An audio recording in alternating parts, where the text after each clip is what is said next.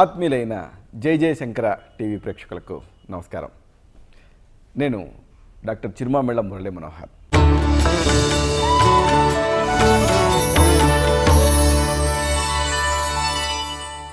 సౌందర్య వేదం విభాగంలో మనం తెలుసుకోబోయేది చాలా ముఖ్యమైనది ఆసక్తికరమైనది ఎంతోమందిని ఇబ్బంది పెట్టేది నోటి దుర్వాసన హాలిటోసిస్ ఆయుర్వేదంలో ముఖ దౌర్గంధ్యం అని పేరు.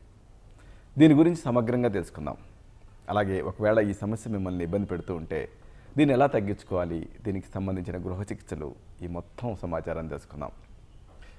చాలామందిలో ఈ నోటి దుర్వాసన సమస్య వేధిస్తూ ఉంటుంది. ఇంకా చెప్పాలంటే బాధిస్తూ ఉంటుంది. దీనివల్ల మానసికంగా నలిగిపోతూ ఉంటారు. తమను తామే నలుగురి నుంచి వేరుపరుచుకుంటారు. ఈ సమస్యకి దారితీసే కారణాలు ఏమిటి అని మనం ఆలోచిస్తే అనేకం ఉంటాయి. వీటి మీద దృష్టి పెట్టాలి. కొన్ని రకాల ఆహారాల వల్ల ఈ సమస్య వస్తుంది. ముఖ్యంగా ఉల్లి వెల్లుల్లి ఇలాంటివి.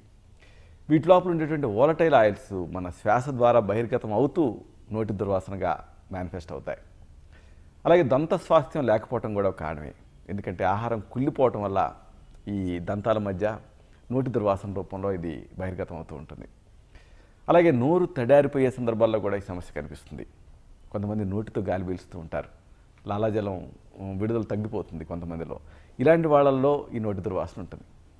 అలాగే కొన్ని రకాల వ్యాధుల్లో కూడా ఈ నోటి దుర్వాసన ఉంటుంది. ముఖ్యంగా డయాబెటీస్ ఇలాంటి వ్యాధులలో.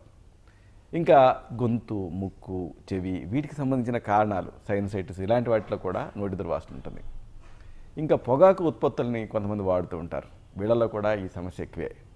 అన్నిటికి మించి ఆందోళన పడే మనస్తత్వం ఒత్తిడి పడే మనస్తత్వం కుంగుబాటు ఇలాంటి సందర్భాలలో కూడా నోటి దుర్వాసన ఉంటుంది. ఈ నోటి దుర్వాసన ఉన్నప్పుడు కొన్ని అనుబంధ లక్షణాలు ఉంటాయి. ఆమోదయోగ్యం కానంత వాసన వస్తూ ఉంటుంది నోటి నుంచి. అలాగే కొంతమంది వాళ్ళకి వాళ్ళ వాసన వాళ్ళకి తెలియదు. కానీ ఎదుటి వాళ్ళ హావభావాలను బట్టి ఈ సమస్యని కనిపెట్టవచ్చు ఇలాంటి నోటి దుర్వాసన మీకుంటే ఏం చేయాలి? కొన్ని మంచి గృహ చికిత్సలు ఉన్నాయి. వీటిని తెలుసుకుందాం. మొదట వస్తాం. దీనికి మీకు కాసింది వేడి నీళ్ళు ఎనిమిది వందల మిల్లీలీటర్లు. అలాగే లవంగ నూనె నాలుగు చుక్కలు.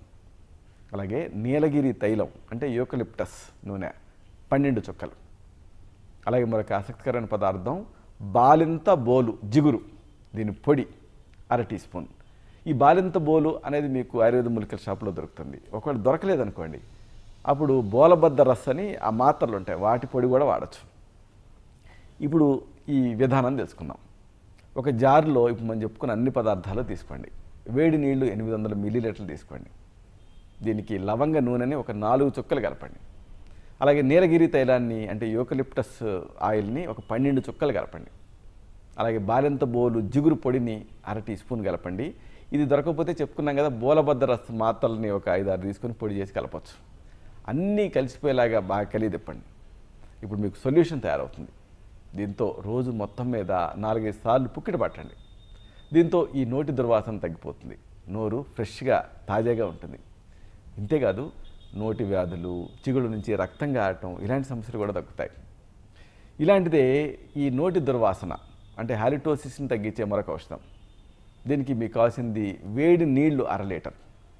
అలాగే మీ ఇంట్లో దొరికేదే వంట సోడా. ఇది మూడు టేబుల్ స్పూన్లు. సోడా బైకార్బ్ అంటారు దీన్ని. అలాగే ఉప్పు మామూలుగా మీరు వాడే టేబుల్ సాల్ట్ రెండు టేబుల్ స్పూన్లు. ఇలా సిద్ధం చేసుకోండి. వీటిని ఉపయోగిస్తూ ఒక అమేజింగ్గా పనిచేసే మౌత్ గార్గిల్ని తయారు చేసుకుందాం.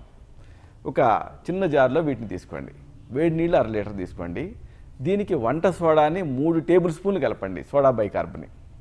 అలాగే మామూలుగా మీరు వాడుకునేటటువంటి టేబుల్ సాల్ట్ని ఉప్పుని ఒక రెండు టేబుల్ స్పూన్లు కలపండి. బాగా కలిగి తిప్పండి.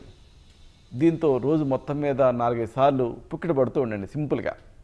ఇది నోటి దుర్వాసన తగ్గిస్తుంది నోటి పూతను తగ్గిస్తుంది గొంతు నొప్పిని తగ్గిస్తుంది ఇలాగా ఈ చిగుడు నుంచి రక్తం కారటం ఇలాంటి నోటికి సంబంధించిన అన్ని సమస్యలే తగ్గిస్తుంది. చాలా అద్భుతమైన ఔషధం ఇది. దీంతో పుక్కిడి పడుతూ ఉండండి. ఇలాగ మీకు అనువైన ఒక ఔషధాన్ని తయారు చేసుకుని వాడుకుంటూ జాగ్రత్తలు కూడా తీసుకోవాలి. చిన్న సింపుల్ టెక్నిక్. తిన్న తర్వాత బ్రష్ చేసుకోండి. బ్రష్ చేసుకోవటం మీకు కుదరలేదనుకోండి. నోటి నిండా నీళ్ళు తీసుకొని మీ వేళ్ళతోటి బాగా క్లీన్ చేసుకొని ఉమ్మేసేసేయండి. సింపుల్. ఇది చాలా సింపుల్ విషయం కానీ అద్భుతమైనటువంటి ఫలితాన్ని చూపిస్తుంది. నోటి దుర్వాసన దూరం చేస్తుంది.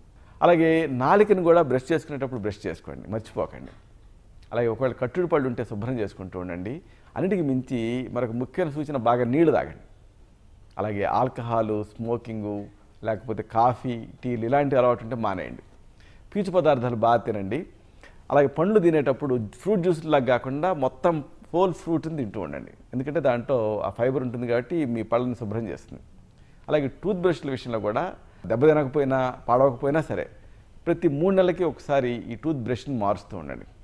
ఇలాగ ఈ అన్ని జాగ్రత్తలు తీసుకుంటూ మానసికంగా హ్యాపీగా ఉండడానికి ట్రై చేయండి. నోటి దుర్వాసనను మీరు పూర్తిగా జయించగలుగుతారు. అయితే ఇక్కడ ఒక విషయం. ఈ హాలిటోసిస్ అనేది నోటి దుర్వాసన అనేది ఒక్కొక్కసారి అంతర్గత వ్యాధులకి వ్యక్త లక్షణం కింద ఉంటూ ఉంటుంది. అలాంటి సందర్భాలలో మీ నాడిని చూసి ఈ ఇతర వ్యాధులు ఏమన్నా ఉన్నాయా అనేది పరీక్ష చేసి మీకు మాత్రమే ప్రత్యేకమైన ఆయుర్వేద ఔషధాన్ని తగిన అనుపాన సహపానాలతో ఇవ్వాల్సి ఉంటుంది. అప్పుడు ఈ సమస్య నుంచి మీరు పూర్తిగా బయటపడగలుగుతారు. ఇలాంటి మరొక ఆసక్తికరమైన విషయాన్ని తిరిగి ఇదే కార్యక్రమాల పరంపరలో మనం కలుసుకున్నప్పుడు వివరంగా తెలుసుకుందాం. అంతవరకు సెలవు. శుభం.